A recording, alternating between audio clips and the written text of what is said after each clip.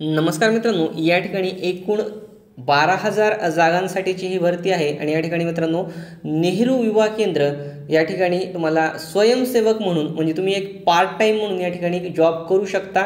म्हणजे part time म्हणजे तुम्ही स्पर्धा परीक्षेची तयारी करू करत करत फक्त एक स्वयंसेवक म्हणून त्या ठिकाणी मित्रांनो तुम्ही काम करू शकता. आणि त्याबद्दल तुम्हाला पाच हजार रुपये मानधनसुद्धा या ठिकाणी दिलं जाईल.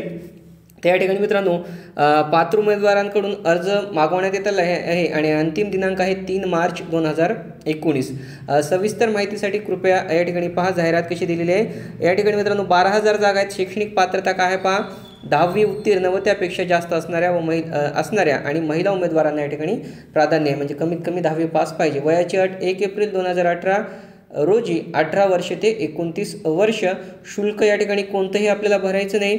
नोकरीचं ठिकाण आपण कुठेही फॉ म्हणजे महाराष्ट्रातल्या कोणत्याही ठिकाणी आपण काम करू शकता. तर तुम्ही मोस्टली या ठिकाणी महाराष्ट्र या भारतामध्ये कुठेही काम करू शकता. आपण त्या ठिकाणी महाराष्ट्रातले जे रिजन आहेत तुमची स्वतःची जिल्हे तुम्ही तुमच्या स्वतःच्या जिल्ह्यामध्ये मित्रांनो या ठिकाणी एक स्वयंसेवक म्हणून काम करू शकता आणि व्हॉलेंटिअर म्हणून काम करू शकता. स्पर्धा परीक्षेची तयारी करत करत सुद्धा काम करू शकता. असं या ठिकाणी स्वयंसेवक म्हणून तुम्ही चोवीस तास त्या ठिकाणी बांधील नसता तर तुम्ही या ठिकाणी अप्लाय करू शकता मित्रांनो. ऑफिशियल वेबसाईट आहे W W W dot N Y K S dot N I C dot N आणि या वेबसाईटला तुम्ही मित्रांनो भेट देऊ शकता.